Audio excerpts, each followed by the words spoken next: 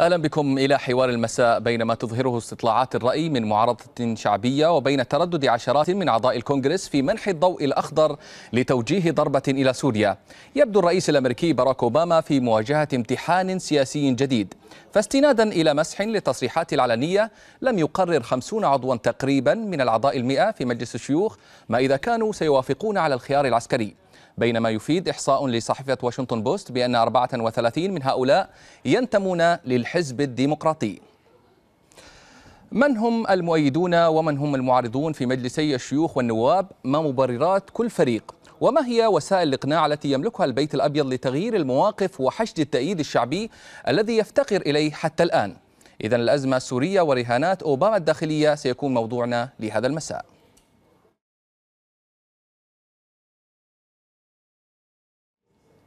نرحب بضيفينا في حوار المساء معنا من القاهرة أستاذ العلوم السياسية في الجامعة الأمريكية الدكتور جمال عبد الجواد ومعنا من واشنطن العضو العضو في الحزب الديمقراطي سابا شامي. ويمكنكم أيضا المشاركة في الحوار من خلال طرح أسئلتكم واستفساراتكم على تويتر وأيضا فيسبوك. وقبل البدء في النقاش آخر ما ذكرته صحيفة نيويورك تايمز الأمريكية أن 25 من أعضاء مجلس الشيوخ يؤيدون توجيه هذه الضربة بينما لم يحسم 55 عضوا موقفهم بشكل واضح وعارض 18 عضوا توجيه عمل عسكري ضد سوريا. أما في مجلس النواب الأمريكي فقد أيد 40 نائبا العمل العسكري. فيما لم يحسم 209 أعضاء موقفهم نهائيا وأعلن 153 عضوا وقوفهم ضد هذا الخيار العسكري. وفي محاولة جديدة لتغيير المواقف وحشد التأييد في الشارع نشرت الإدارة الأمريكية الشريط المصور الذي قدمته لمجلس الشيوخ والذي يحتوي على ما قالت إنها أدلة تؤكد استخدام أسلحة كيماوية في الغوطة الشرقية في ريف دمشق في الحادي والعشرين من الشهر الماضي وفقا لواشنطن. الله ونعم الوكيل. حسبي الله ونعم الوكيل. حسبي الله ونعم الوكيل. اختناق جراء قصف عصابات الاسد للخطه الشرقيه بالمواد الكيماويه الله أكبر. الله أكبر. انظروا يا عرب انظروا يا اسلام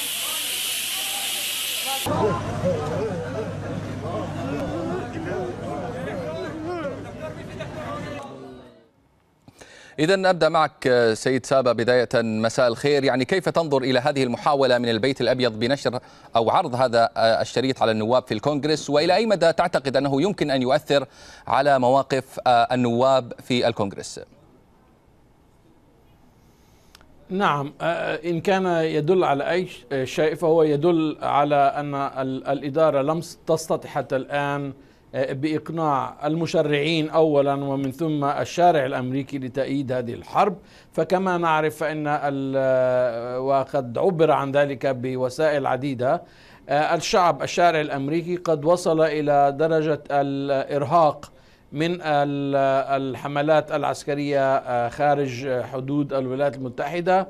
وأهمها كان طبعا التدخل العسكري في العراق وأفغانستان والتي كانت في الأساس من وجهة نظر أكثرية المواطنين الأمريكيين الذين استطلعوا على حروب أمريكا قالوا بانها كانت حروب عبثية وغير مقنعة أسبابها لم تكن مقنعة.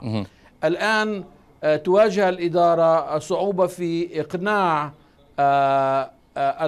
المشرع الأمريكي قبل الشارع الأمريكي وعادة المشرع يعني ينخرط أو أو يقبل بأسباب الرئيس لأنهم يقدموا ما يسمى عادة بأدلة استخباراتية تؤكد وقوع الشيء أو عدم حصوله. ومن وجهة نظر الإدارة فإن التدخل العسكري هذه المرة له مبرر رغم أن الرئيس نفسه يعد من من رموز الحمائم في في الولايات المتحدة. نعم. وكان قد انتقد الصقور في عدة مناسبات وانتقد بشدة. الرغبة أو كما يسموا بيسموه في أمريكا trigger happy من هم على استعداد دائم للضغط على زند البارودة للبدء بعمل عسكري. الآن يواجه نفس المصير من قبل أصدقائه وحلفائه. فإن الأكثرية آه، آه، التي تعارض حتى هذه اللحظة التدخل العسكري الأمريكي في النزاع السوري هي من الطرف الديمقراطي. طبعا نحن نتح... لكن يعني سيد سابع يعني هذه هذه الطريقة التي اعتمدها وال والشريط أو الصور التي تم آه، يعني عرضها على النواب يعني متداولة بشكل كبير في مواقع التواصل الاجتماعي في على يوتيوب. يعني لم تعرض أي جديد. كيف يمكن إذا أن تؤثر؟ بالضبط. وهذا ما حاولت أن أقوله في بداية آه، آه، الجواب الثاني آه، أن ال ال يعني ال ال أنا قلت أن الإدارة تحاول في الواقع هنالك عدم قبول للأسباب مهما كانت الصور شنيعة ومؤلمة فإن الشارع الأمريكي يقول بأن بأن الولايات المتحدة يجب أن تكف عن التدخل في الصراعات العالمية ونحن كما يقول الكثير في أمريكا ممثلين بأعضاء في الكونغرس الأمريكي بمجلسيه يقولون بأننا بأن الولايات المتحدة يجب أن تكف عن دورها كشرطي للعالم وأن تهتم بإقتصاد الولايات المتحدة والعائلة في أمريكا وبناء مجتمع آه، آه، صحي ومعافى وليس آه، في حالة صراع دائم مع العالم نعم. أو في العالم. أنتقل يعني بهذا الحديث عن الوسائل التي يمكن من خلالها أن يؤثر البيت الأبيض على التأييد أو حشد تأييد شعبي أكبر في الداخل الأمريكي. إليك دكتور جمال بداية مساء الخير. يعني ما هي الوسائل الأخرى التي يملكها البيت الأبيض للتأثير؟ أو حشد تأييد شعبي أكبر الذي لم ينجح حتى الآن في حشده. والرئيس أوباما جند كل مساعديه والعاملين آه، في النطاق المحيط به في البيت الأبيض والإدارات ذات الصلة للتحدث إلى وسائل الإعلام للظهور في التلفزيون للتواصل مع أعضاء الكونجرس وهم الآن الحلقة الأهم في هذه آه، العملية عملية استصدار قرار أو موافقة من الكونجرس على آه، ضربة أمريكية ضد النظام السوري. آه، هذه أداة مهمة. الضغط والإلحاح على المشرعين وعلى الرأي العام. ربما هذا يؤثر على مواقف المشرعين. أتصور أنه بالذات في المحادثات اللي بتدور ما بين هؤلاء المسؤولين الأمريكيين ونواب أمريكيين وأعضاء في الكونغرس لإقناعهم بتعديل في مواقفهم قبل التصويت بطريقة معينة كما هو معتاد في السياسة الأمريكية. آه، مرات كثيرة آه، آه، سياسة المبادلة أن يستحضر أو يتم تقديم وعود لعضو من أعضاء الكونغرس أو مجلس النواب ب تقديم تنازل من الإدارة أو تأييد لمطلب من مطالبه مقايدة سياسية. نعم سأتيح لك مثلا. سيد سابا أكمل دكتور جمال. نعم دكتور جمال تفضل. آه نعم معك. آه، دي أحد الوسائل لكن آه، حتى الآن ما شاهدناه هو محاولات للإلحاح السياسي للضغط السياسي للتأثير في مواقف النواب آه، ولكن حتى الآن هذه الحجة السياسية الاستراتيجية إنه السماح بالتسامح مع النظام السوري في تجاوزه لهذا الخط الأحمر سيكون مؤثرا بشكل سلبي على الأمن القومي الأمريكي وعلى استقرار العالم في المستقبل. هذه الحجة السياسية الاستراتيجية لا يبدو إنها قابلة للتسويق بسهولة. فلجأ الرئيس إلى استخدام حجة إنسانية الشريط الفيديو الشهير للضحايا اللي بيتألموا واللي فقدوا حياتهم نتيجة استخدام الأسلحة الكيماوية آه، ضدهم لكن آه، في الحقيقة آه، ربما مصدر الصدمة في هذا الأسلوب هو أنه الرئيس أو رئيس الولايات المتحدة والبيت الأبيض يستخدم شريط فيديو هو متداول منذ أسابيع على م. مواقع الإنترنت لم يقدم شيئا جديدا آه، وربما هذا هو موقف نقطة الضعف الرئيسية في أداء الرئيس أوباما في هذه الأزمة أنه لا على المستوى الاستخباراتي ولا حتى على المستوى الحجة الإنسانية آه، لكي يقف على أرض أخلاقية صلبة ولكي يعزز الأرض الأخلاقية لمؤيديه في في الكونغرس. آه، لم يقدم جديدا في الحقيقة. الحجج السياسية ضعيفة والحجج نعم. الإنسانية لم يقدم جديدا يعني وأن وأن شريط كما أشرنا أنه يعني متداول بشكل كبير على الإنترنت. كنت تود أن تضيف شيئا سيد سابا تفضل. نعم أنا حاولت بس مساعدة الأستاذ في القاهرة آه، عندما تكلم عن آه، أن الرئيس عندما آه، يحاول الحصول على تأييد آه، في في الكونغرس يحاول إعطائهم شيء فحاولت أنه أساعده بجملة آه، أنا قلت أنها مقايدة سياسية وأعني بذلك بأن الرئيس يعد بأن يدعم مشروع معين آه، مهم لعضو الكونغرس أو السيناتور معظم الحالات نعم. السيناتور لأنه يمثل كل الولاية وليس منطقة معينة من الولاية وهذه المقايضة في بعض الأحيان تكون في تعيينات على مستوى الحكم الفيدرالي كما نعرف أن الرئيس لديه كامل الصلاحية بأن يعين أكثر من 6000 موظف آه، آه، في آه، في الحكومة بتسمى political appointments أو تعيينات سياسية. وهذه المقايضة قائمة على قدم وسا- وساق كما نعرف حتى في هذه اللحظات. ال- ما أريد ما أردت أن أقوله بأنه آه، آه، ال- ال- ال- المشهد معقد جدا فمن جهة نرى بأن الحليف الأول لرئيس آه، بالطرف الديمقراطي في إمرار هذه ال- ال- الصفقة.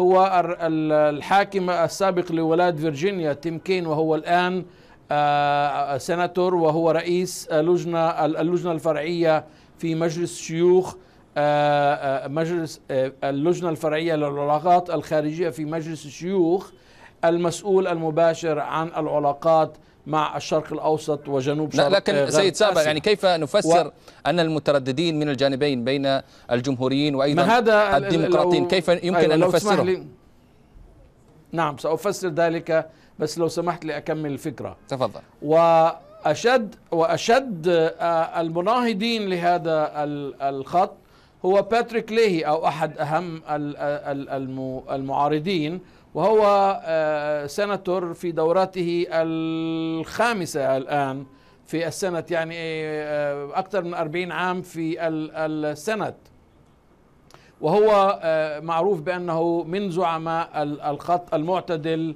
أو اليساري بعض الشيء في الطرف الديمقراطي. في الطرف الجمهوري نرى أن الحمائم والصقور متمثلة في الموقفين كذلك. آه، الصقور متمثلة بجون ماكين كما نعرف والحمائم ممثلة في آه، سيناتور بول. وهو آه، آه، ابن ال- المرشح ال- آه، ال- السابق للولايات المتحدة من الطرف الجمهوري ومن ثم كمستقل آه، راند بول. آه، سيناتور بول يوازي في آه، آه، في في هذه المعادلة. سيناتور ليهي وسيناتور ماكين يوازي سيناتور كين. الطرفان غير متفقان يعني معظم الجمهوريين لا يؤيدوا هذه الخطوة. آه، من من منطلق يختلف تماما عن طيب. أسباب التأييد أو عدم التأييد لك في الطرف لكن في في. المقابل يعني أبرز قيادات الحزبين أعلنت تأييدها للض- للضربة وهنا أنتقل للدكتور جمال. الدكتور جمال يعني آه، القيادات في الحزبين أعلنت تأييدها للضربة. مع ذلك مع ذلك لم يكن هذا التحرك أو الموافقة من قيادات الحزبين آه، مؤثر بشكل كبير على باقي الأعضاء. لماذا؟ لأنه في في هذه المرة وهذه واحدة ربما من المر المرات القليلة اللي بنجد فيها الرأي العام الأمريكي له موقف قوي ازاء قضية من قضايا السياسة الخارجية، الرأي العام الأمريكي عادة اهتماماته ال- الأساسية تتعلق بالداخل زي أي شعب لكن بالذات الرأي العام في أمريكا اهتماماته الخارجية محدودة إلى إلى درجة كبيرة، لكن في هذه المرة في الحقيقة آه، فوجئت الإدارة وفوجئ اعضاء الكونجرس بأنه المواطن الأمريكي الناخب الأمريكي لديه موقف قوي وسلبي تجاه هذه السياسة المقترحة آه، من جانب ال- ال- الرئيس ومن ثم آه، آه، آه، آه، هذا الموقف القوي والسلبي حرم آه، أعضاء الكونجرس آه، من الحرية اللي عادة بيتمتعوا بها في قضايا آه، السياسة الخارجية. آه، آه، الرأي العام الأمريكي ما زال يحيا في ظل آه، آه، آثار أو صدمة الحرب على العراق والحرب على أفغانستان آه، وأصبح لديه خبرات في مسألة هذه الصراعات الخارجية اللي آه، بتبدأ بحجج تبدو مقنعة لكنها بتنتهي في النهاية مرات كثيرة بنتائج آه، غير مقبولة أو غير إيجابية بالمرة آه، بالنسبة للشعب الأمريكي. ففي حذر زائد ما زلنا في نوع من أنواع آه، آه، آه، عقدة العراق بمعنى ما موجودة في داخل الرأي العام الأمريكي. أتصور أنه هذا آه، هذا الموقف من نعم. الرأي العام هو اللي آه، بيضغط على النواب آه، وبالذات النواب ال- الأحدث في الكونجرس بالذات النواب اللي بيتوقعوا آه، اللي المفروض إن هم يدخلوا يشاركوا في انتخابات التجديد في العام القادم آه، هؤلاء النواب وأعضاء الكونجرس بالذات لديهم حساسية آه، خاصة تجاه آه، موا- آه، مواقف واتجاهات ال- الرأي العام في آه، في وهو يعني ما. ما, إنه يعني رأينا بعضهم دكتور جمال يعني هو ما أظهره آه، استبيان نشرته مؤسسة جالوب للأبحاث أن الدعم الشعب الأمريكي لعملية عسكرية ضد الحكومة السورية هو الأقل مقارنة بأي تدخل عسكري أمريكي سابق في السنوات العشرين الماضية إذ أيد 36% فقط من الأمريكيين قيام واشنطن بعملية عسكرية وأيضا آه، يرفض 51% هذا الإجراء مقابل 13% من المترددين. وهنا أنتقل إليك سيد سابا لماذا هذا التردد وأن يكون دعم الشعب الأمريكي للتدخل العسكري في سوريا هو الأقل إذا ما قورن بأي تحرك عسكري أمريكي خلال العشرين سنة الماضية؟ نعم. استطاع آه، ال- ال- الشارع الأمريكي خلال العشر سنوات ال- الماضية بفهم أكثر للعلاقات آه، الخارجية للولايات المتحدة وقد فهموا ذلك بدفعهم آه، آه، بدم أبنائهم بشكل مباشر في العراق وأفغانستان. وتحديدا العراق، أفغانستان حالة آه، تختلف بعض الشيء آه، عناصر داخل أفغانستان خططت ايلول آه، الحادي عشر. نعم في 2002 2001 ولكن آه، العراق لم يثبت حتى الآن بأنها آه، آه، تعرضت لأي من مصالح الولايات المتحدة عندما كانت تشن حربها على الأكراد وحربها مع مع إيران ودخول ال- احتلال الكويت. يعني هناك لكن لكن حديث آه، يعني ما- أوباما والإدارة الأمريكية أنها ستكون آه، لن تكون على غرار ما حدث في في العراق وأيضا أفغانستان وأنها ستكون في النطاق المحدود. لم نعم، يشجع نعم. أيضا الرأي العام الأمريكي. نعم وهذا نعم وهذا هو كانت يعني وهذه هي هذا هو بيت القصيد. بأنهم حاولوا الإيحاء بأن هذه الضربة ستكون سريعة ومؤلمة للنظام السوري بحيث يجلسوا ويحاولوا حل المشكلة سياسيا. ولكنهم آه، آه، يعني آه، يحاولوا يعني عدم النظر إلى الموضوع بجدية من ناحية أن الأطراف المؤيدة للنظام السوري لن تقف مكتوفة الأيدي بما يتعلق بالولايات المتحدة وأصدقائها ومصالحها ومنشآتها في في الشرق الأوسط. وهذا ما لا يتكلم عليه لا الرئيس ولا وزير الخارجية ولا المسؤولين الكبار آه، في واشنطن. من حيث ال- آه، يعني معظم ال- المعارضين يتكلمون على الموضوع من ناحية عدم استعداد الاقتصاد آه، الأمريكي لتحمل ضربة واسعة النطاق. ف يعني كان الرد ال- الرسمي بأننا سنضرب ضربة سريعة ونخرج. والآن هنالك طبعا شرح أوفى من قبل المعارضين وقاموا ب آه، يعني في عدة دراسات ونشرت الكثير الكثير من ال- المقالات تتعلق بهكذا عملية وتوابعها. فلا يعني الأكثرية الساحقة من المسيسين في الولايات المتحدة ترفض هذه ال- الضربة لأنها تعرف بأن لن يكون ضربة آه، منعزلة وهكذا ضربة ستجر آه، ردات فعل إقليمية. ستؤثر على مصالح الولايات المتحدة ومن ثم ستضطر الولايات المتحدة إلى آه، ال- الرد لكي تحافظ على مصالحها ويعني بالحديث عن. الانقسام آه، في الشارع الأمريكي وأيضا في آه، الكونغرس. إليك دكتور جمال. يعني هل تعتقد أن أوباما ورط نفسه باللجوء إلى الكونغرس واستشارته في هذه المسألة وأنه كان قادرا بالفعل على التحرك من دون هذه الاستشارة؟ آه، آه، آه، بالتأكيد في اعتقادي أنه هذا خطأ كبير من جانب الرئيس أوباما لأنه آه، الضربة كما وصفها وكما وصفتها إدارته للأعضاء الكونغرس وللرأي العام الأمريكي وأيضا للحلفاء الخارجيين هذه الضربة آه، تقع في في في نطاق اختصاصات الرئيس دون حاجة إلى تفويض أو إلى موافقة من جانب السلطة التشريعية في الولايات المتحدة لكن آه، الرئيس آه، آه، أراد أن يعزز موقفه السياسي يعطيه ويكسبه شرعية أكبر بالحصول على تأييد الكونجرس لكن كما لو كان تأييد الكونجرس مضمون الآن هو أصبح متورطا في هذه المسألة. جيد إذا حدث إذا حصل على تأييد الكونجرس ولكن هذا امرا مستبعدا. لكن آه، ماذا لو لم يحصل على تأييد الكونجرس آه، آه، هو خاسر في الحالتين. إذا لم يضرب ففقد مصداقيته بعد كل نعم. التهديدات هذا السؤال انتقل به إلى إلى السيد. إلى السيد سابا يعني سؤالك دكتور جمال ماذا لو لم يحصل على موافقة الكونغرس؟ هل يحق لأوباما والبيت الأبيض بتوجيه ضربة إلى سوريا حينها؟ المسألة ليست بمسألة حق إذا كانت القضية قضية حق فكان على الرئيس بأن يذهب إلى مجلس الأمن آه، إلى. إلى الأمم المتحدة وطبعا كما نعرف أن مواثيق الأمم المتحدة تتكلم بوضوح عن.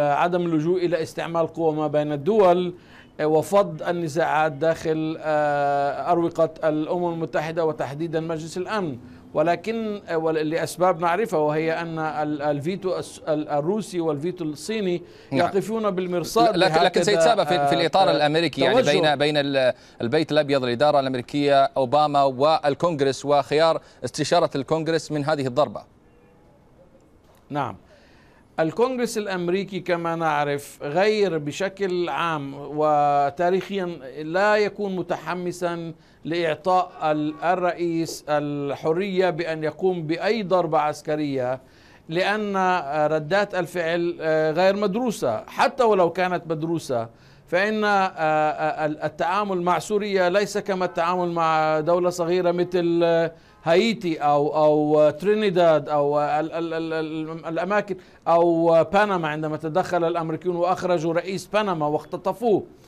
آه، آه، هذه دولة آه، ذات آه، يعني آه، آه، قدرات عسكرية معينة ومؤيدة بشكل ومدعومة بشكل آه، واضح من النظام في في إيران ومن ثم آه، آه، متحالفة بشكل آه، عضوي مع حزب الله في لبنان والذي لديه القدرات ال- الكبيرة لإلحاق الضرر بأصدقاء آه، آه، الولايات المتحدة. فهنا نجد أن الكونغرس يفهم كل هذه الأسباب والأهم هذه المرة بأن الشارع الأمريكي المسيس من يتابع الأخبار قد فهم هذه المعادلة كذلك وهو غير معني به- بهكذا ضربة. هل هذا يعني يعني أن الرئيس كان من من البداية متحمسا للقيام بعمل عسكري. أنا تقديري الشخصي و و وتحليلي الشخصي آه، أن الرئيس لم يكن معنيا بهذه الضربة منذ البداية ولكنه وجد نفسه مضطرا أخلاقيا لأنه وضع نفسه في هذه آه، آه، المساحة الضيقة عندما أعلن بأن استعمال كيماوي من قبل النظام سيكون خطا أحمر. ولن يس- تستطيع الولايات المتحدة آه، بمبادئها آه، المعروفة آه، أن أن تقف مكتوفة الأيدي الأيدي حيال هكذا خرق لحقوق الإنسان في سوريا. نعم. بغض النظر عن المعطيات الحالية والغموض الذي يلف مسألة التصويت على توجيه الضربة إلى سوريا دكتور جمال في رأيك ما هو السيناريو الأقرب إلى التحقيق آه، أعتقد إنه الرئيس آه، لن يحصل لن يستطيع أن يحصل على تفويض من من الكونغرس. إذا حصل فسربما يحصل على تفويض آه، كحل وسط آه، آه، ضيق جدا محدود الزمن جدا محدد بالأهداف جدا. آه، في محاولة من ناحية لحفظ ماء وجه الولايات المتحدة ومصداقيتها من ناحية آه، وفي إطار حفظ العلاقة العمل ما بين ال- ال- الرئيس والكونجرس ده هو أفضل الأشياء التي يمكن أن يحصل عليها الرئيس لكن ده سيتطلب جهد كبير جدا في الحقيقة. آه، على آه، آه، أتصور إنه حتى إذا لم يحصل الرئيس أوباما على تفويض من الكونجرس أعتقد إنه آه، سيجد نفسه مضطرا إلى آه، توجيه ضربة آه، ما لسوريا لكنها ستكون أكثر رمزية بكثير مما يتمناه ومما تم التخطيط له واللي هي بالتأكيد مهما كانت صغيرة المخطط له حتى الآن إلا إنها بالفعل ستحدث اثرا في سوريا سيكون لها تبعات كثيرة وعلى الأرجح في الحقيقة أنها ستورط الولايات المتحدة تدريجيا في الصراع في سوريا. أتصور أنه آه، آه، ضربة لسوريا مرجحة لكنها ستكون أصغر كثيرا مما يتم تداوله الآن بسبب آه، إما لأنه الكونجرس سيفرض هذا التضييق والتشديد آه، على الرئيس أو أنه الرئيس يتصرف برغم غياب تفويض ال- الكونجرس مستخدما سلطاته لكن سيستخدمها آه، بشكل آه، آه، أكثر رمزية بكثير مما يتم الترويج له الآن. دكتور جمال عبد الجواد أستاذ العلوم السياسية في الجامعة الأمريكية كنت معنا من القاهرة. شكرا جزيلا لك. وأيضا شاركنا في الحوار السيد سابا شامي العضو في الحزب الديمقراطي من واشنطن. شكرا جزيلا لكما مشاركتنا حوار المساء.